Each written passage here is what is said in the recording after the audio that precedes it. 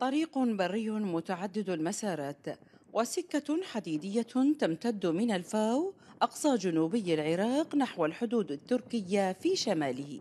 يتحدث مسؤولون في وزارة النقل العراقية عن أهمية الطريق استراتيجيا للعراق وتركيا وما يتيحه للبلدين من فرص اقتصادية.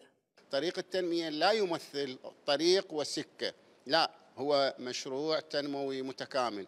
حينما نبدأ بالمشاريع الصناعية المشاريع الاقتصادية يعني نحن بدأنا بتنفيذ المشروع قبل لا يعلن. سوف نكون سباقين مثل ما أعلنا دخول مشروع ميناء الفاو بالعمل عام 2020 إن شاء الله سوف نعلن كشركة دخول طريق التنمية بالعمل خلال الأيام القليلة القادمة. ويؤكد مختصون أن طريق الحرير أساس جديد للاقتصاد المستدام غير النفطي فيما سيسمح لتركيا بنقل النفط والغاز الطبيعي من العراق إلى الأسواق العالمية مختزلا مدة السفر بين آسيا وأوروبا عبر تركيا. أو سيكون لدى العراق تجارة خارجية.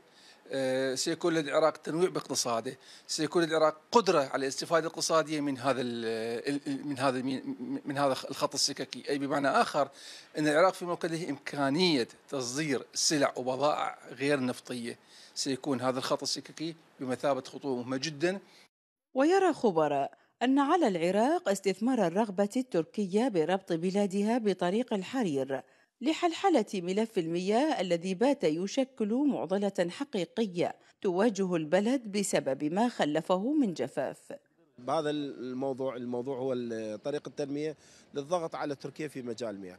بل أكو يعني حل أو أكو مشروع ربما أنه تركيا تستفاد من عنده أنه مع هذا الطريق تمد أنبوب المياه آه، اللي هو ممكن إنه يكون آه، للعراق وأيضا تستفاد من عنده بعدين لاحقا مثلا دول الخليج هي ممكن إنه تسوق المياه اللي عندها. وتتحمل تركيا الجزء الأكبر من أزمة شح المياه التي يتعرض لها العراق بفعل السدود التي أقامتها على نهري دجلة والفرات ما خلف أزمة حقيقية في مياه الري.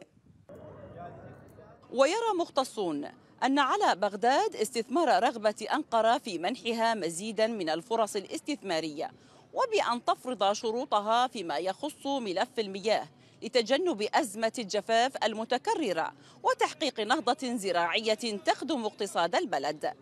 نجح العابدي الحرة البصرة.